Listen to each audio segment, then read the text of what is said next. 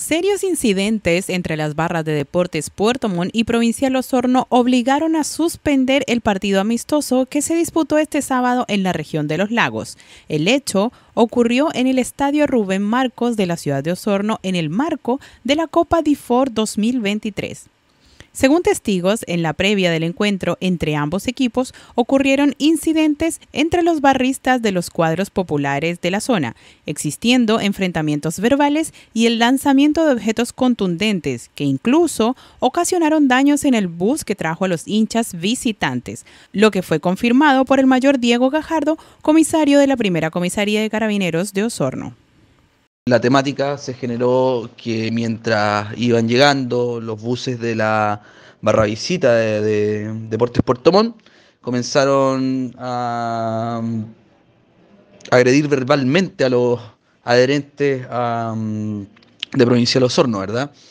Eh, quienes reaccionaron también de la misma forma y posteriormente estos barristas de Puerto Montt comenzaron a arrojarle objetos contundentes eh, agresiones que de la misma forma fueron eh, respondidas por eh, adherentes de Provincia de Osorno, resultando uno de los buses con, con uno de sus vidrios laterales quebrados.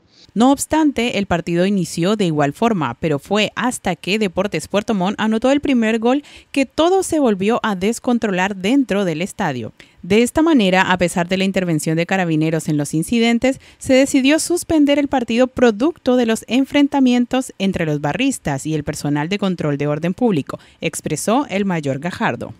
Los barristas de mm, Deportes Puerto Montt en el interior del establecimiento, eh, no acataron las instrucciones de seguridad ni del personal policial, algunos treparon eh, las vallas de seguridad, eh, adosaron lienzos que no están autorizados,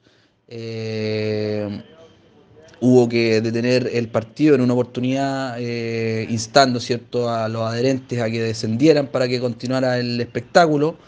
Eh, para posteriormente ya y en una actitud ya totalmente de indolencia y no acatamiento de las normas, algunos barristas eh, treparon por las vallas divisorias entre ambas barras, eh, cruzando, ¿cierto? Y, mm, y digamos con un peligro inminente de agredir a los adherentes de la barra local.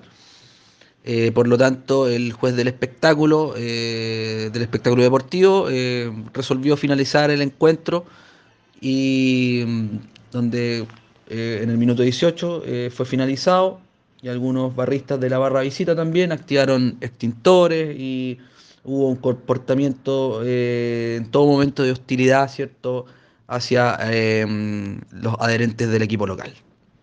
Cabe destacar que no se reportan personas lesionadas ni detenidos a causa de los violentos incidentes. Finalmente, el presidente provincial Osorno, Jorge Vidal, lamentó lo sucedido en conferencia de prensa tras el partido y como club realizaron un comunicado oficial reforzando las palabras del presidente del club.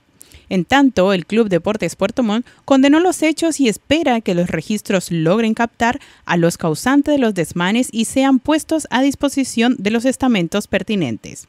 Queda la duda sobre qué pasará con la localidad de Osorno en el campeonato de segunda división, debido a las falencias evidentes del recinto de calle Cochrane. Hasta el momento, Estadio Seguro no ha dado ninguna declaración al respecto.